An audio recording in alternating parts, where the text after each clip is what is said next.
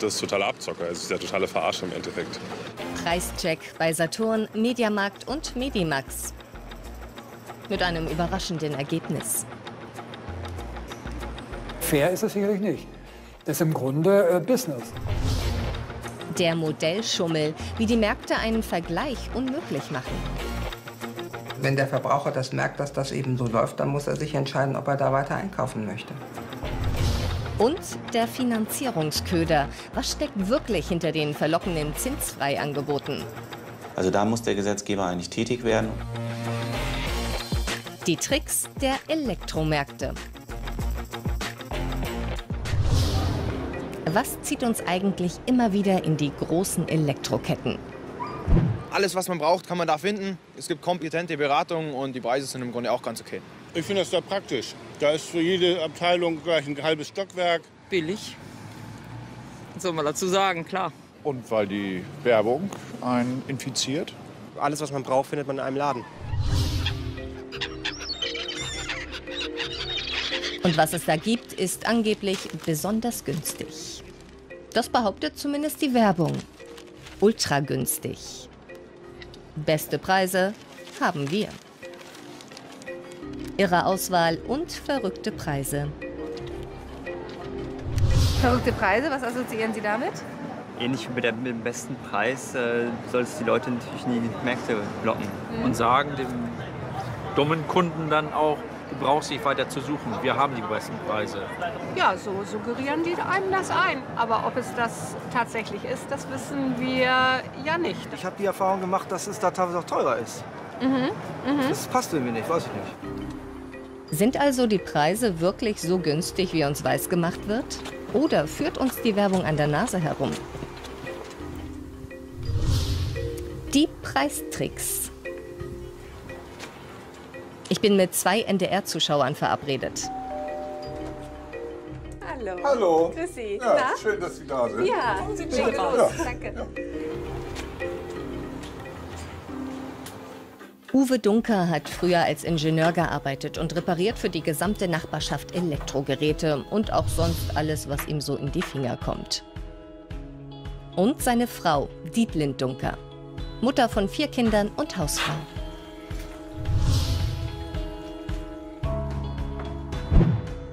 Die Dunkers werden für uns in den nächsten Wochen Testeinkäufe machen und Geräte daheim ausprobieren. Gehen Sie gerne in Elektromärkte? Ich gucke ganz gern mal, was neu auf dem Markt ist. Das interessiert mich schon. Und äh, wundere mich heute, ich, da ich meine Geräte ja auch immer lange habe, doch auch über die Preise manchmal. Prinzipiell gerne einkaufen tue ich grundsätzlich nicht. Weil meist mit Geldausgabe äh, verbunden. Die Frage ist, wo kriegt man es her, was braucht man? Allein in Norddeutschland zählen wir über 50 Mediamärkte und 22 Saturn-Filialen. Beide gehören zum selben Unternehmen, Media Saturn. Während Saturn meist in den Innenstädten liegt, ist der Mediamarkt oft außerhalb. Medimax gibt es 25 Mal bei uns im Norden. Jahresumsatz der drei Unternehmen zusammen 14,9 Milliarden Euro. Alle drei Unternehmen behaupten also, sie seien extrem günstig. Dann dürfte es doch wohl bei identischen Produkten eigentlich keine großen Preisunterschiede geben, oder? Wir schauen uns das mal genauer an. Ich gebe Ihnen mal einen Preis vor. Das ist der vom Mediamarkt. 63,99. Was glauben Sie jetzt, wenn Sie den Preis sehen? Wie unterscheiden sich die anderen Preise? Vielleicht 4 Euro günstiger. 4 Euro günstiger oder auch teurer oder? Ja, oder auch teurer, wie auch immer. 11 Euro Preisunterschied. Oh, das ist ja gewaltig da. Das hätte ich nicht gedacht. Dass, Sind dass 11 Euro. der Mediamarkt so, so teuer ist. So gewaltig. Ja, es ist viel. Heftig. Und bei den Kameras? Preisunterschied, denke ich schon. Mit Sicherheit, mit Sicherheit. Wie hoch wird der in etwa sein? 20 Euro vielleicht. 20, 25 Euro sagt Ihre Frau. Was meinen Sie, wie viel Preisunterschied? 25 Euro? Nee. Nicht zu viel. 15 oder 17. Es sind 20 Euro Preisunterschied. Ich habe ja 17 gesagt. Ich habe 20, 25 gesagt. Ne? Vor allen Dingen macht ja auch Me Medi, wie heißt der andere noch? Äh, Mediamarkt macht ja so große Reklame, ne? dass man wirklich denkt, ach, da kriegen wir es billig. Ne? In Mhm. Wirklichkeit kann man woanders hingehen, und da kriegt man es dann noch günstiger. Ne? Was glauben Sie? Gibt es Preisunterschiede? Sicherlich. Von Händler zu Händler denke ich schon. Ich denke mal, das kann bis zu 50 Euro liegen, denke ich. Und ich sagte, wozu? Ne? Ich meine, die Waschmaschine kann nicht fliegen, die kann waschen. Und das Waschergebnis wird, wenn das das gleiche Modell ist, das gleiche sein. So denke ich mir das mal. Ne? Ja. Ich sage Ihnen mal die Preise. Wir haben einmal die Waschmaschine bei Saturn 619. Das ist jetzt, muss ich mal kurz gucken, Medimax 6,99. Und Mediamarkt 5,99. Dann lag ich mit meinen 50 Euro ja total daneben. So viel Unterschied. Und wer kann das einem erklären, warum? Ja, dann müssten sie auch verschieden sein in der Leistung. Ne? Sind sie aber nicht. Sie sind ist alle die gleich. gleiche. Komplett die gleiche Maschine. Weiß ich nicht, was das soll. Wenn ich was kaufen will, ich informiere mich. Ich habe aber eben, wie gesagt, auch die Zeit. Wenn ich jetzt arbeiten würde oder so, dann habe ich halt mal ja nicht so die Zeit, überall sich rumzutreiben, in Anführungsstrichen. Ne? Und was machen die Menschen, die keine Zeit haben, so Preise zu vergleichen? Die sind manchmal im Moos gekniffen. Und jetzt noch ein Fernseher. Knapp 2500 Euro Preisunterschied zwischen Mediamarkt und Saturn. Das ist Wucher. Oder wie, was soll ich dazu sagen? Traurig, traurig, dass man das mit uns macht eigentlich, ne? Kann man wohl nichts machen, aber das ist irgendwie eine Schweinerei, ne? Dass das sowas überhaupt gibt oder dass das, wie soll ich sagen, erlaubt ist oder so, ne? Also ich mache jetzt mein Portemonnaie zu und gehe nie wieder einkaufen. Zurück bei den Dunkers. Gemeinsam gehen wir die Preisunterschiede zwischen den Ketten noch einmal durch. Gleich günstig kann man häufig vergessen. Also ich würde nicht unbedingt sagen, dass das ein dicker Hund ist, aber ein korpulenter Wauwau ist das allemal. So eine klaffende äh, Wunde, hätte ich beinahe gesagt. Ja, es ist enorm. Hätte ich nicht gedacht. Doch es geht noch krasser. Gemeinsam mit den Dunkers vergleiche ich die Preise innerhalb eines Unternehmens. Zunächst identische Stabmixer von Saturn, gekauft in zwei verschiedenen Filialen im Raum Hamburg. Einmal für 82,99 Euro, einmal für 89,99 Euro. Krass gesagt, unmöglich. Es ist eine Kette und zwei verschiedene Preise. Kann ich mir nicht erklären, wie, wie, wie man dazu kommt und wie sowas passiert. Als nächstes Medimax. Hier haben wir einen Föhn gekauft. In einer Filiale für 74,99 Euro. Zehn Kilometer weiter mussten wir 84,99 Euro hinlegen. 10 Euro mehr. Da sollte sich die Geschäftsleitung der Kette vielleicht mal Gedanken drüber machen. Das ist nicht lustig. Schlimm finde ich das. Nein. Nö, ist wirklich nicht gut für die Kunden. Und dass, dass so große Geschäfte äh, sich das einfach leisten, ist allerhand, finde ich. Medimax gibt zu. Wir können und wollen die Preisgestaltung vor Ort nicht verbindlich vorgeben. Jetzt noch Toaster, gekauft beim Mediamarkt. In einer Filiale wollen sie 69 Euro dafür haben. In einer anderen kostet er viel mehr, 89 Euro. Also, hammerhart. Ist, Also ist arg dreist. Ist arg dreist. 20 Euro. Also da, da werde ich ja wild. Das kann nicht sein. Das kann wirklich nicht sein. Also dann muss man äh, ja quasi jede Filiale einzeln abklappern und, und genau buchführen, welches Produkt wo was kostet, um dann anschließend noch mal hinzufahren, um das Billigste zu erwerben. Also das ist irgendwie ein bisschen arg dreist. Media Saturn schreibt uns dazu. Die einzelnen Märkte waren schon immer eigenständig in ihrer Preisgestaltung. An der Universität Hannover treffe ich den Marketingprofessor Klaus-Peter Wiedmann. Was sagt er zu unseren Ergebnissen? Man versucht einfach, die Konsumenten so weit entgegenzukommen, wie es nötig ist. Und äh, versucht natürlich auf der anderen Seite das rauszuholen, was auch möglich ist. Nicht? Das ist jetzt sicherlich äh, ein Spiel, was hier gemacht wird. Bei Beamten haben sie so eine Art Ortszuschlag. Wenn sie irgendwo wohnen, wo es teuer ist, kriegen sie ein bisschen mehr. Für die, wo man das Gefühl hat, sie können sich das eher erlauben. Das heißt, wenn die Menschen mehr Geld haben, geben sie es wahrscheinlich Also, auch häufiger aus und dann setzt sich die. Preise einfach höher. Tendenziell ja. Fair ist es sicherlich nicht. Das ist im Grunde äh, Business. Man Business und Fairness äh, passen manchmal zusammen, manchmal ist es nicht so, nicht so richtig miteinander zusammen. Die irren Preise sind also unter Umständen gar nicht die besten und auch nicht ultra günstig, auch wenn die Elektromärkte uns das gerne einreden wollen. Sieht es bei der Beratung vielleicht besser aus? Zusammen mit Dietlind und Uwe Dunker klappern wir Elektromärkte ab. Wir wollen die Verkäufermasche aufdecken. Unser Verdacht, in dieser Mediamarkt-Filiale in Hamburg arbeitet ganz besonderes Personal. Kaum bei den Waschmaschinen angekommen, werden wir von einem jungen Mann forsch angesprochen. Miele ist der Marktführer, danach kommt gleich Samsung. Über Bosch und Siemens braucht man gar nicht zu reden. Jetzt kommt der junge Mann in Fahrt. Samsung hat auch gute Trommeln, ist Marktführer in Amerika und Asien. Diese Maschine hat auch die patentierte Samsung Schaumaktivfunktion. Das spart Wasser. Die anderen Hersteller tritt er in die Tonne. Hier AEG, die sind halt nicht so hochwertig wie Bosch und Siemens und die halt wiederum nicht so gut wie zum Beispiel Samsung. Was ist denn Ihre Empfehlung? Miele, wenn Sie mehr ausgeben wollen, oder Samsung. Aber Samsung verbraucht weniger Strom und Wasser als Miele und es gibt eine 5-Jahres-Garantie. Immer wieder Samsung. Der Verkäufer nimmt uns ins Schlepptau eine Etage tiefer. Hier stehen, Überraschung, ausschließlich Samsung-Geräte. Und die hier kostet nur 1000 Euro und ist sparsamer als Miele. Wir haben genug gehört, wollen wissen. Sagen Sie mal, arbeiten Sie für Samsung? Erwischt. Ja, tue ich. Erst auf Nachfrage damit rausrücken, ganz schön dreist.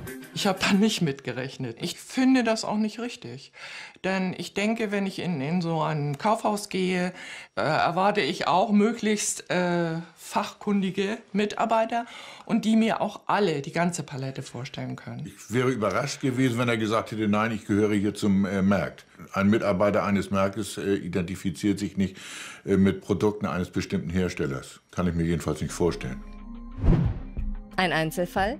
Wir recherchieren an einer anderen Mediamarkt-Filiale, interessieren uns dieses Mal für Kaffeemaschinen, wollen uns bei einer Verkäuferin informieren. Ganz kurze Beratung, dann wimmelt sie uns ab. Ich würde Ihnen gerne noch mal meine Kollegin schicken. Eine andere Verkäuferin taucht auf.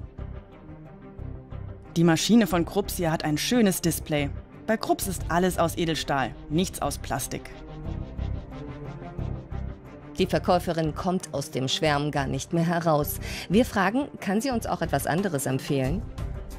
Bei dieser Maschine ist die Brüheinheit aus Kunststoff. Das ist echt so eine Geschichte. DeLonghi baut ganz gute Maschinen, aber bei Vieltrinkern oder nach einem halben Jahr verändert sich die Maschine. Das haben sie bei Krups nicht. Die sind langlebiger. Nach geschlagenen zehn Minuten wissen wir viel über die Maschinen von Krups, aber nur wenig über die Kaffeeautomaten anderer Hersteller. Neutrale Beratung, Fehlanzeige. Ich finde, so, so große Elektromarktketten sollten einem die Chance geben, alles selber so zu vergleichen und nicht, dass man beeinflusst wird von einzelnen Unternehmen. Denn der wird ja wohl kaum vom Konkurrenten was anbieten, auch wenn es besser ist oder besser zu diesem Kunden passt.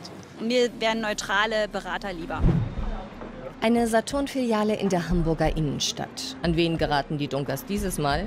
Wieder jemand, den der Hersteller geschickt hat? Zu welcher Zahnbürste würden Sie uns denn raten? Wenn ich mir eine kaufen würde, dann die Oral-B 3000. Die kann schnell, langsam und Massage. Oder wenn man das nicht braucht, dann diese.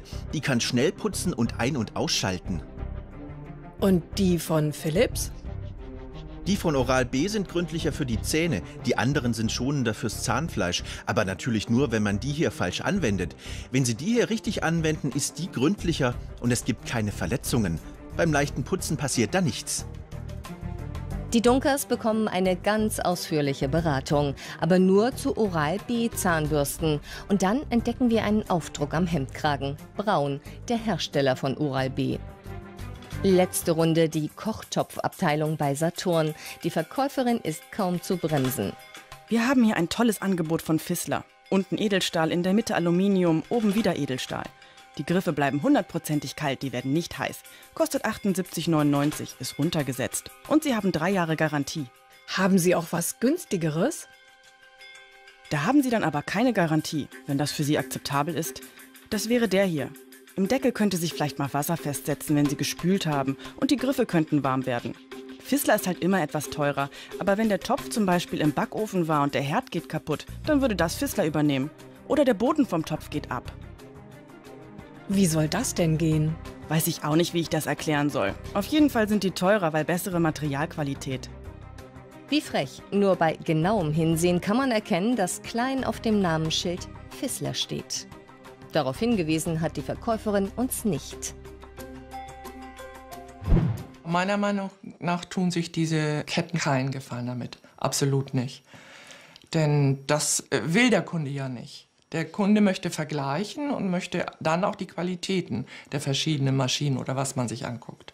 Also zumindest müssten Sie dann mit offenen Karten spielen und deutlich erkennbar äh, als Repräsentant einer Firma und nicht der Kette äh, dort auftreten. Ja. Äh, denn das ist äh, arg irritierend. Media Saturn räumt ein, dass von Herstellern beauftragte Verkäufer in den Filialen arbeiten. Diese hätten einzelne Produkte betreffend ein besonders fundiertes Fachwissen. Bei Medimax scheint es diese Praxis nicht zu geben. Bei unseren Besuchen berieten uns nur Filialmitarbeiter. Der Modellschummel. Werbeprospekte. Die Angebote sollen uns in die Läden locken. Saturn versucht es mit einem Rechner für 849 Euro. Hier steht jetzt ein Computer drin, 849 Euro. Was meinen Sie, ist das ein gutes Angebot? Sollte man ihn jetzt kaufen? Kann ich so nicht sagen, aber ich denke schon, dass es ein gutes Angebot ist. Mhm. Ja. Aber letztendlich müsste man das vergleichen mit, mit anderen äh, Anbietern. Ne? Vergleichen ist wichtig, um nicht abgezockt zu werden, um nicht übers Ohr gehauen zu werden und um sich selbst auch äh, zu informieren, was für Angebote man sonst noch findet. Erst vergleichen.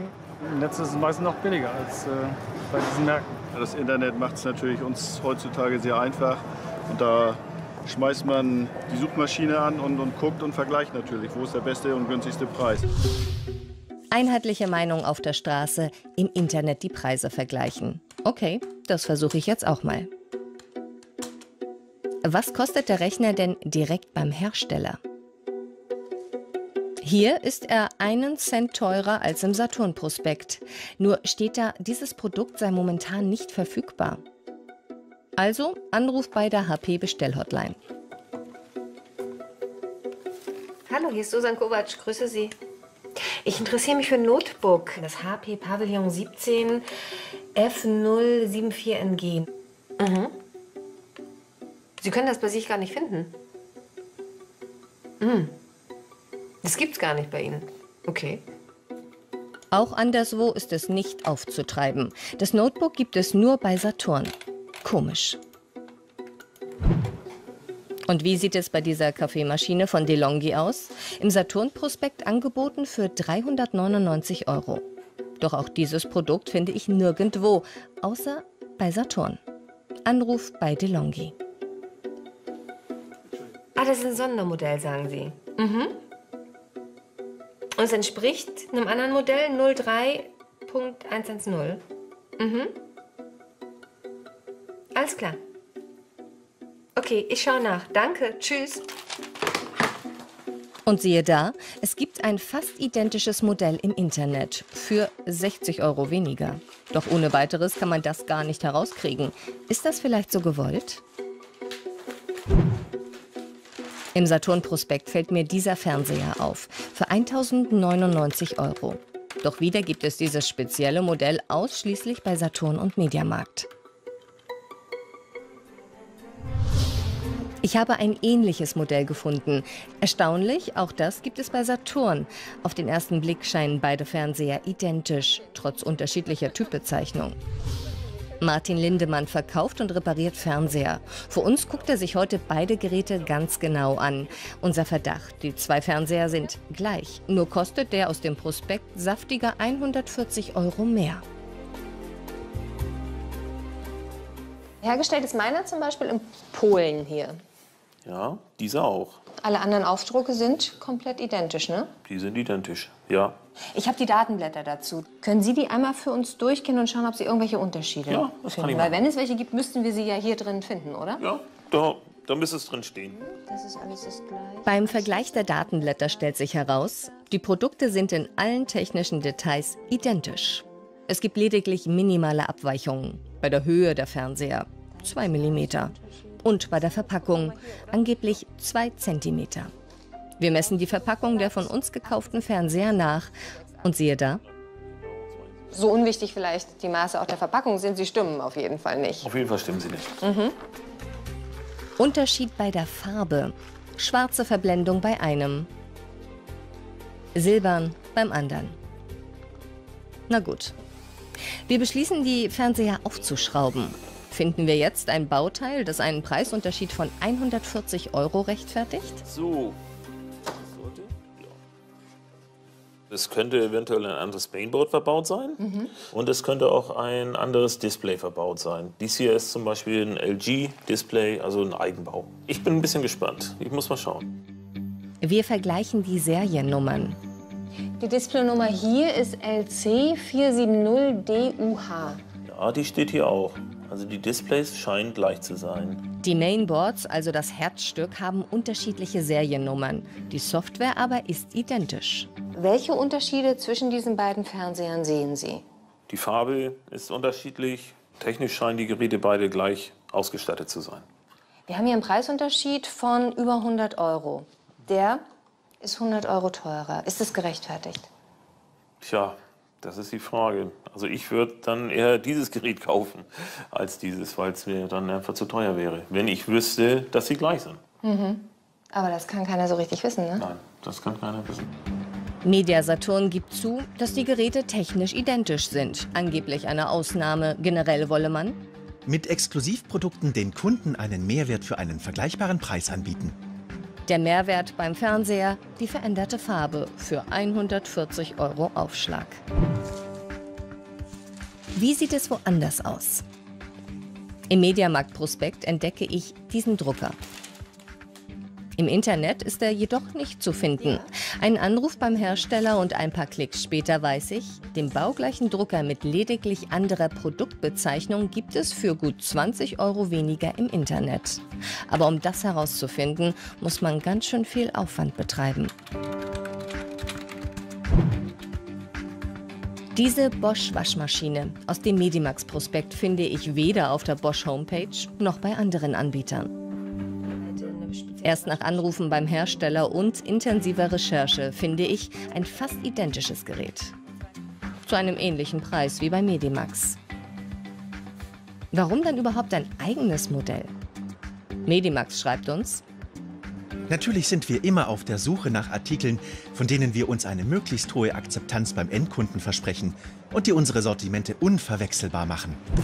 Viel Aufwand, um ein Produkt unverwechselbar zu machen. Den Kunden so hinters Licht zu führen, ist das überhaupt erlaubt?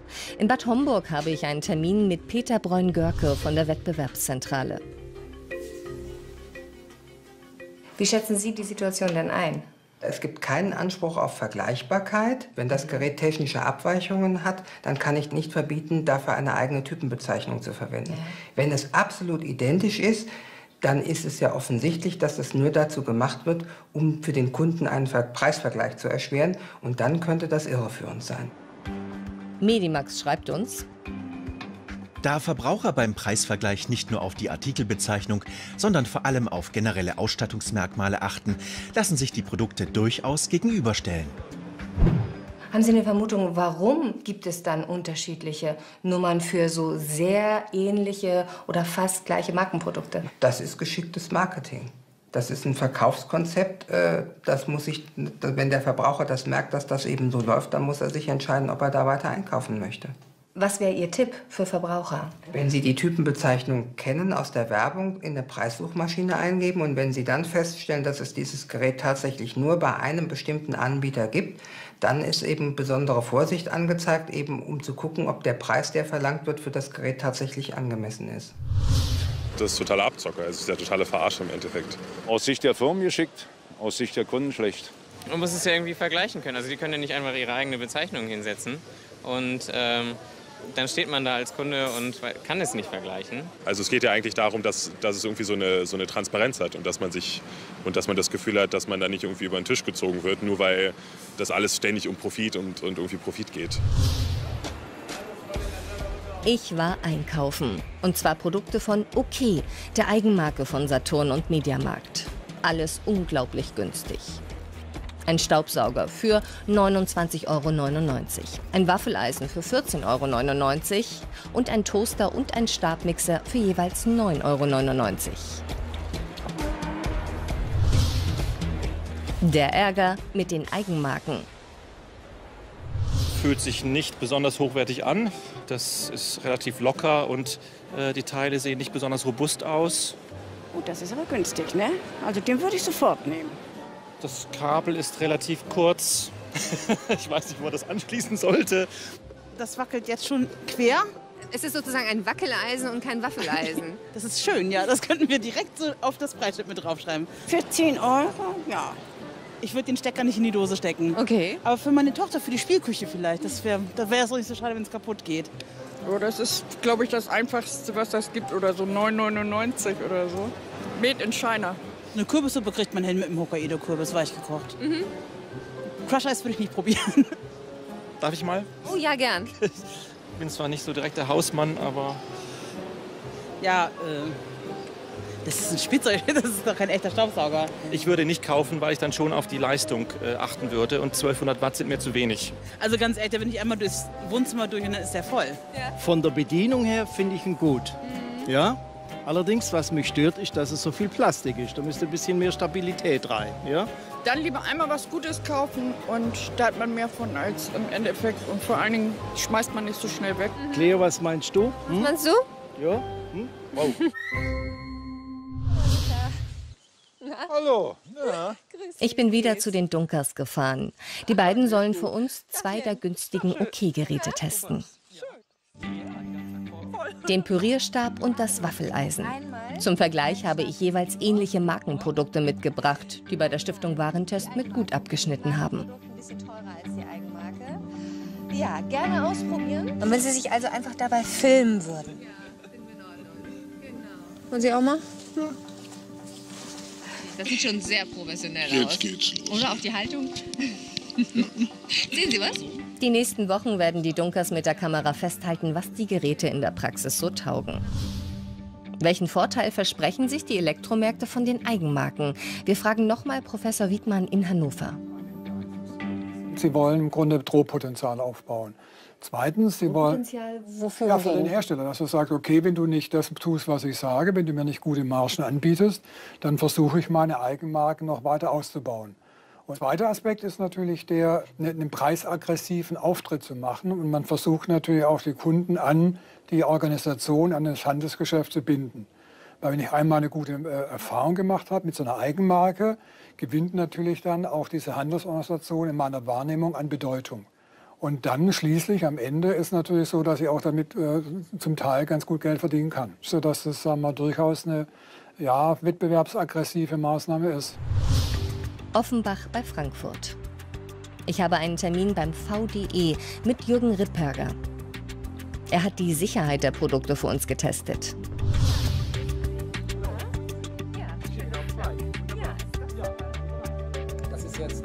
Ergebnis? Keine Gefahr. Kleine Mängel entdeckte das Labor trotzdem. Und sieht man hier äh, Haarrisse.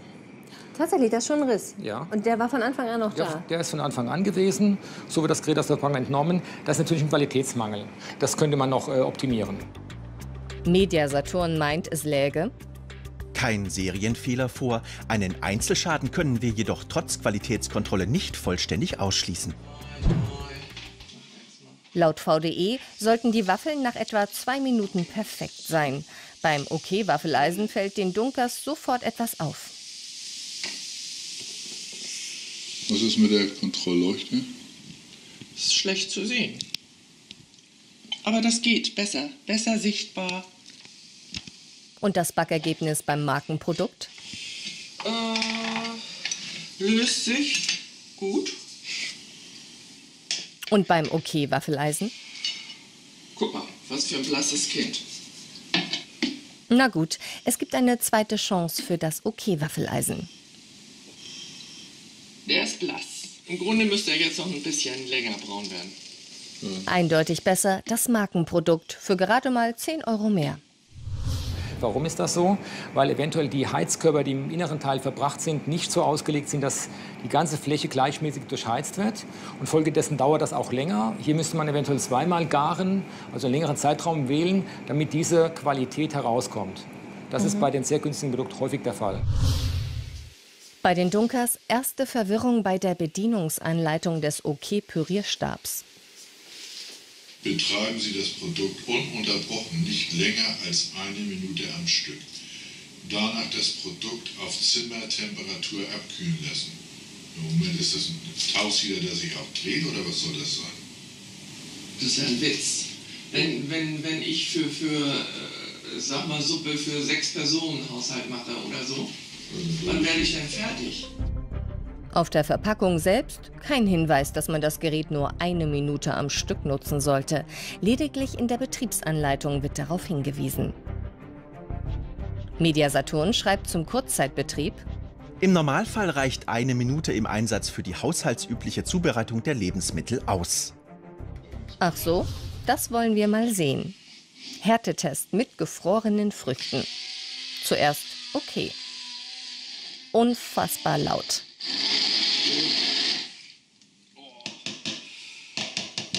Ja, das hat er nicht gewuppt, ne? Nee. So. Das ist noch fast der Urzustand.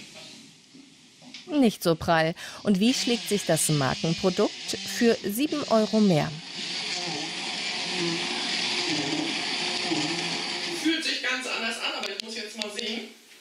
Ja, ja, ja, ja. Ich glaube, da ist alles getroffen, aber wir müssen es mal auf Sie gucken. Tipptopp.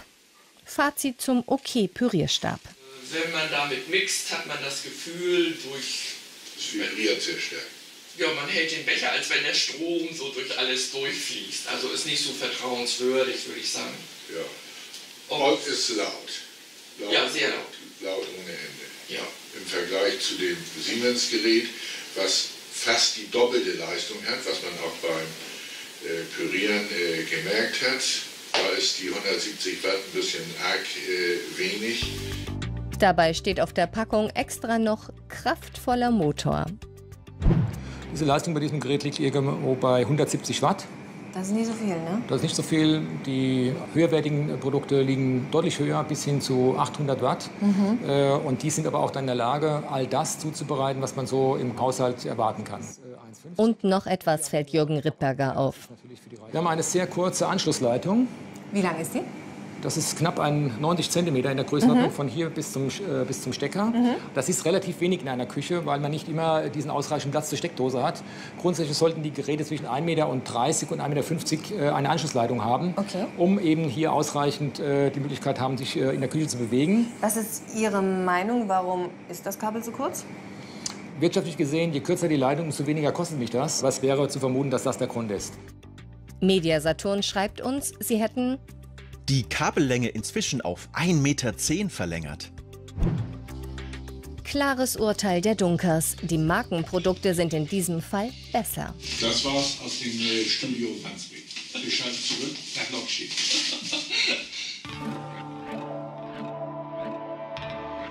Bleibt noch dieser Staubsauger für 30 Euro. Das VDE-Labor hat für uns die Lautstärke getestet. Das Gerät ist sehr, sehr laut, 88 dBA. Das ist wirklich ein ganz, ganz lauter Wert, den kann jeder wahrnehmen. Und das entspricht auch nicht mehr den heutigen guten Geräten. Die liegen deutlich drunter, in der Größenordnung bei 60 dBA. 88, ähm, womit kann man das in etwa vergleichen von der Lautstärke her? Wenn man zu Hause einen Elektrorasenmäher in dieser Größenordnung hat, äh, dann wäre das schon vergleichbar. Elektrorasenmäher, das ist ja. wirklich laut. Warum ist der so laut? Ist sehr günstig äh, konstruiert und mit der günstigen Konstruktion habe ich ein sehr lautes Geräusch über den Motor nach außen. Es gibt keine äh, zusätzlichen Filter, die das Geräusch wegnehmen können. Auch die Kunststoffe tragen ihren Beitrag dazu, dass es halt eben nach außen getragen wird und das nehmen wir wahr. Und diese Lautstärke ist dann halt äh, eben so laut, dass es sehr unangenehm ist. Media Saturn schreibt, Natürlich führen wir auch leisere Geräte. Letztendlich entscheidet der Kunde, welches Preis-Leistungs-Verhältnis am besten passt. Wenn das Gerät schon sehr laut ist, saugt es dann wenigstens ordentlich? Zunächst auf Teppichboden. Wie hat sich unser OK-Staubsauger geschlagen? nicht sehr überzeugend, denn zu guter schafft er nur 45 Prozent gegenüber einem vergleichbaren guten Gerät. Nur 45 Prozent, Ja. das heißt nicht mal die Hälfte. Genau, so sieht das aus. Kein gutes Ergebnis. Das ist kein gutes Ergebnis. ja. Wie sieht es bei anderen Böden aus, also glatte Flächen zum Beispiel? Da wird es noch schlechter. Da erreichen wir nur 15 Prozent gegenüber einem vergleichbaren guten Gerät. Also noch deutlich schlechter als das, auch, was wir auf dem Teppich erreicht haben. Äh, Also hier hat das Gerät deutliche Mängel. Ja. Lohnt sich das vielleicht trotzdem? Es war halt billig. Nein, das lohnt sich nicht. Wenn man die Berechnung zugrunde legt, welchen Stromverbrauch ich dagegen rechnen muss, das sind ja meine Kosten, die ich tagtäglich beim Staugen im Prinzip erzeuge, dann kann man sagen, in zwei Jahren sind die Kosten so groß, dass ich mir auch einen Top-Staubsauger leisten kann. Denn alleine der Kaufpreis, ein günstiger Kaufpreis, muss ich immer im Verhältnis sehen zu den Kosten, die dann über die Stromkosten mit einfließen. Und die sind hier sehr teuer.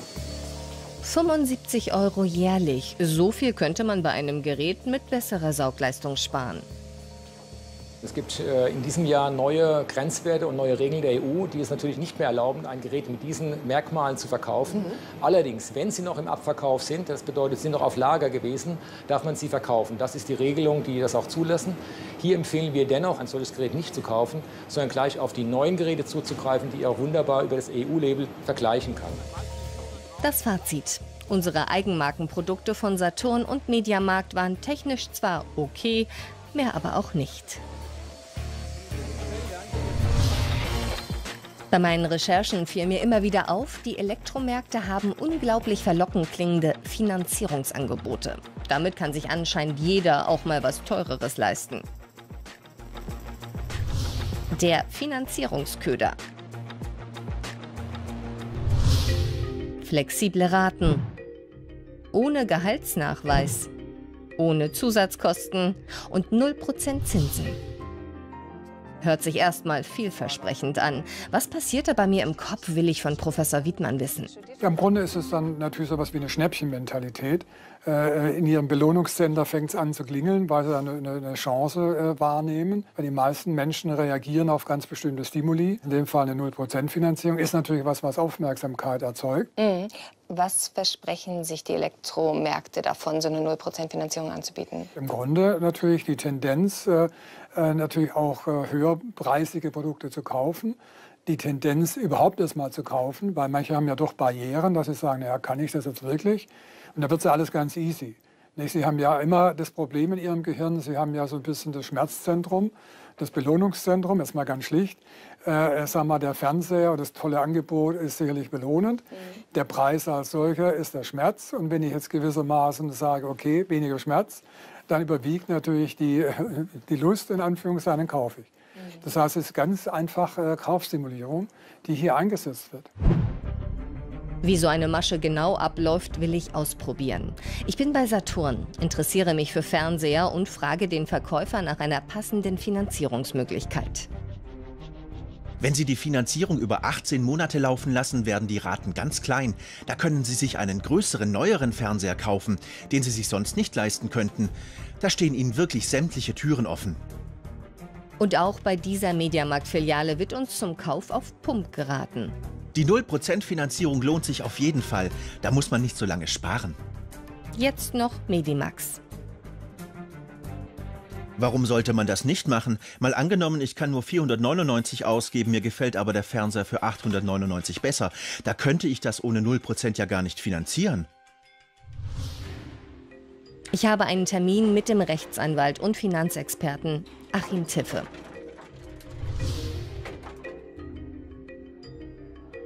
Ihm zeige ich unsere Aufnahmen. Was hält er von der Beratung? Es wird hier natürlich positiv dargestellt. Äh, Es hat ein unglaubliches äh, Überschuldungspotenzial, wenn die Leute sich eben etwas leisten, was sie sich nicht leisten können. Das heißt, möglicherweise die Raten nicht bezahlen können. Hier sind wir bei Elektromärkten. Äh, Die Verkäufer sind keine Bankangestellten. Da wird einfach nur verkauft. So nach dem Motto, ist uns egal, die Bank wird das schon steuern. Da fehlt eben auch der Schutz eigentlich der Verbraucher. Media Saturn schreibt uns. Eine Entscheidung für eine Finanzierung setzt immer eine ausreichende Bonität voraus. Medimax meint, Wie bei jeder Anschaffung liegt es im Ermessen des Kunden, ob ein Produkt zu seinen finanziellen Verhältnissen passt. Es es verleitet den Kunden zu kaufen. Die Menschen meinen, sie könnten sich das leisten, obwohl es nicht äh, passt. Das ist halt so eine, so eine Schuldenfalle. Wenn man sich da irgendwas anbirgt für zwei, drei Jahre Und man weiß im Endeffekt ja gar nicht, wie die Zukunft aussieht. Ich glaube, es ist insofern gefährlich, dass man äh, vielleicht sich selbst nicht mehr so richtig einschätzen kann, weil es einfach zu verlockend ist. Auch das noch. Wer mit 0% finanziert, wird automatisch Kunde einer Bank. Doch davon erfahren wir bei unseren Testbesuchen erst auf Nachfrage. Es gibt keinen Haken. Außer dass man eine Kreditkarte bekommt. Die muss man aber nicht nehmen. Kostet die was? Die hat eine Jahresgebühr. Die Karte ist aber definitiv dabei. Nein, kann. Muss aber nicht. Wie? Das wissen Sie gar nicht? Nein, das können wir auch nicht beeinflussen. Kommt auf die Bonität des Kunden an. Wie auch immer, das macht das System. Von der Bank bekommen Sie dann eine Kreditkarte oder Kundenkarte, mit der Sie einkaufen können. Also ich bekomme eine Karte. Ja, eine EC-Karte. Kredit- oder EC-Karte? Sieht aus wie eine EC-Karte, ist aber eine Kreditkarte. Damit können Sie Geld abheben und einkaufen. Unter 1000 Euro mit 9% Zinsen, über 1000 Euro sind es 13,9% Zinsen. Werde ich dann eigentlich Kunde bei irgendeiner Bank? Nein, Sie bekommen dann nur eine Karte von denen. Wenn Sie die aktivieren, kostet das was.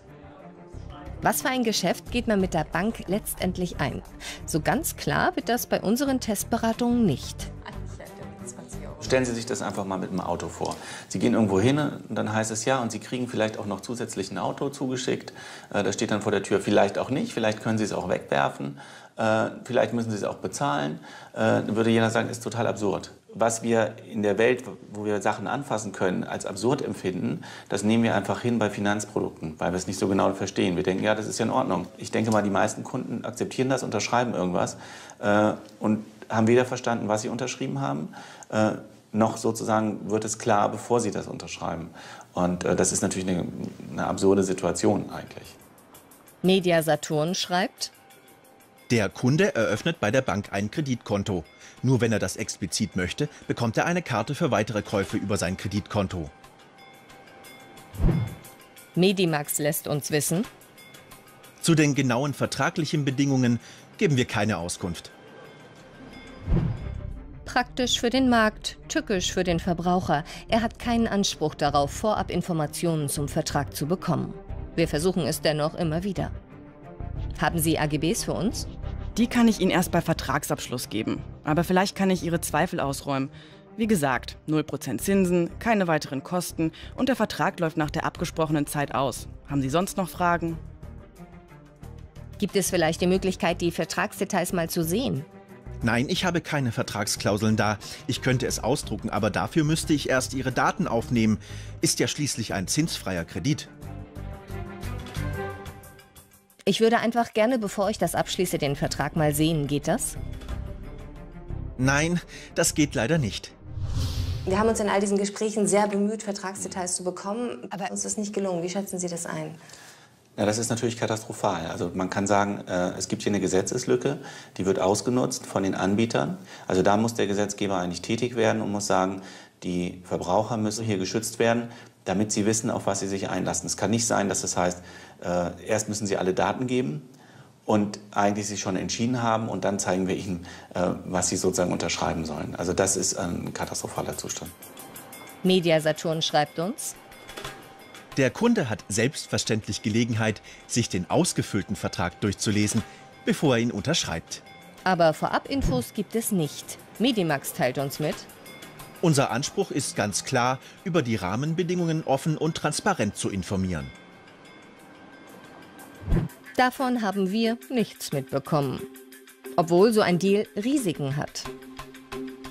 Es ist, als wenn man zu einer Bank geht und dort ein Darlehen aufnimmt selbst wenn das, ich sage jetzt mal 0 Prozent, also keine Zinsen äh, beinhaltet von dem. Die Folgen sind die gleichen. Wenn Sie nicht bezahlen, dann haben Sie erhebliche Probleme. Es wird in der Schufa eingetragen.